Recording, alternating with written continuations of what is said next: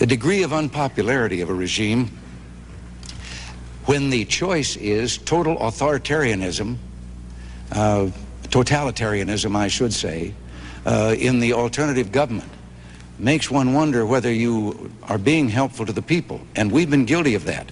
Because someone didn't meet exactly our standards of human rights, even though they were an ally of ours, instead of trying patiently to persuade them to change their ways, we have, in a number of instances, aided a revolutionary overthrow which results in complete totalitarianism instead for those people.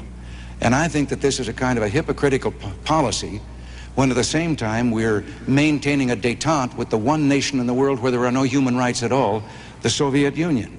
I did criticize the president because of our undercutting of what was a stalwart ally, the Shah of Iran.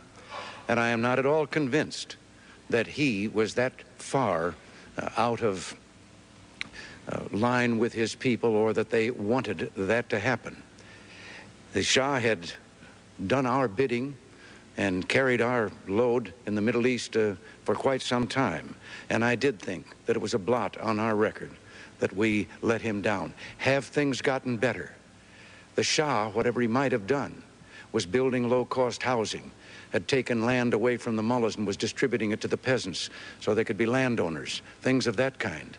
But we turned it over to a maniacal fanatic who has slaughtered thousands and thousands of people, calling it executions.